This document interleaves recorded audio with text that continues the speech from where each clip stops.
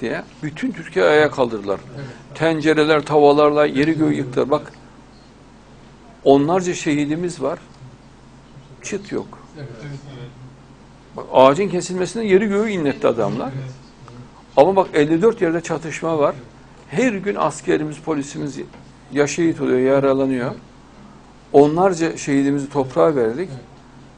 Adamların bir kısmının umurunda dahi değil. Tabii.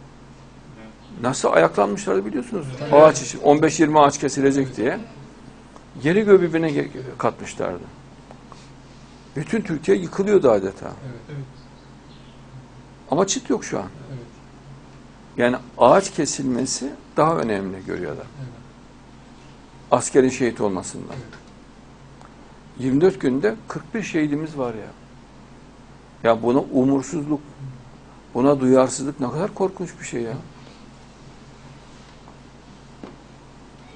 Adamlar maç seyrediyorlar, dizi seyrediyorlar.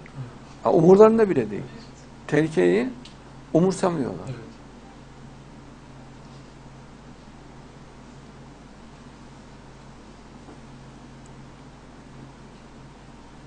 Mesela 54 noktadan işit saldırsa, Evet. yeri yak- yıkar kanallar ya. Evet. Değil mi? Evet. Yani mesela işit bu kadar şehit alsa, yani mesela 41 şehide Evet. sebep olsa, müthiş bir ayaklanma olur. Evet. evet. Bütün televizyon kanallarında, her yerde. Muazzam bir e, reaksiyon olur. Yani reaksiyon gösterenler var ama çok cılız ve az. Böyle olmaz. PKK bunu gördükçe daha da azıyor. Daha da kızgınlığı artıyor.